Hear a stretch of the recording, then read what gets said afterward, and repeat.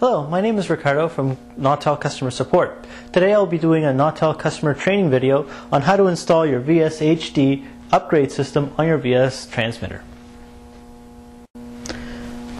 After removing all connections to the VS transmitter, ensuring that the power is off and disconnected, place the transmitter on a secure work surface and ensure that you have your anti-static bracelet. Remove all hardware from the transmitter and remove the top.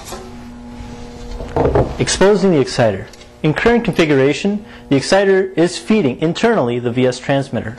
By removing the cable and connecting it to the external exciter feed, you are now allowing the VSHD to feed the exciter the VS transmitter.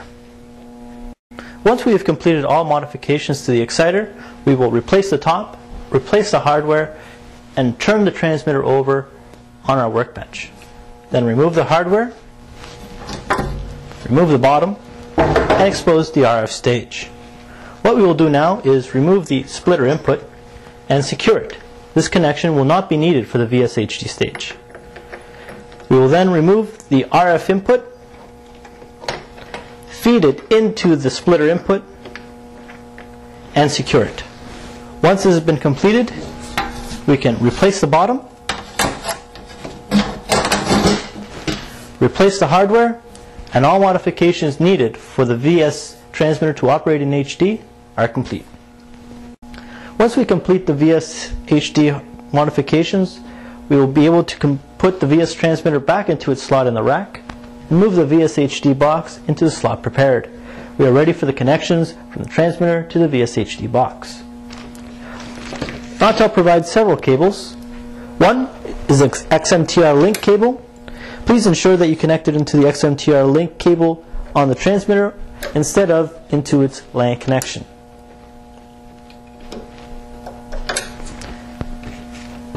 Next cable that's provided is the RF sample out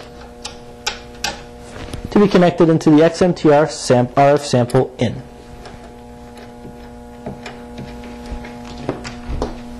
The other cable is the D-sub connection. This is for your audio. Make sure that's connected in.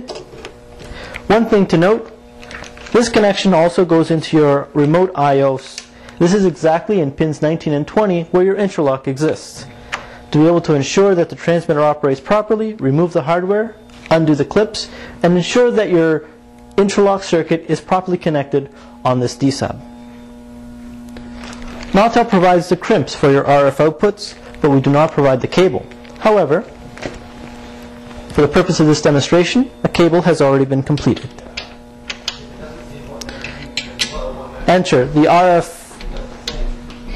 output from the VSHD into the RF in external that we have already prepared.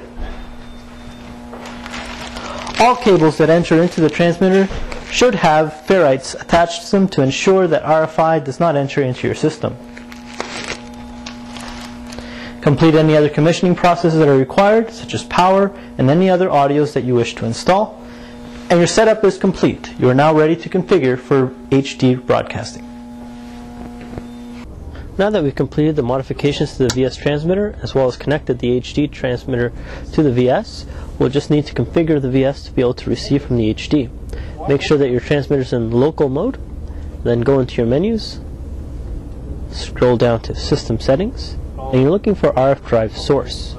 Hit the check mark and search for VS HD Exciter and once you select the check mark, you're done. The rest of the configurations will be done through the AUI.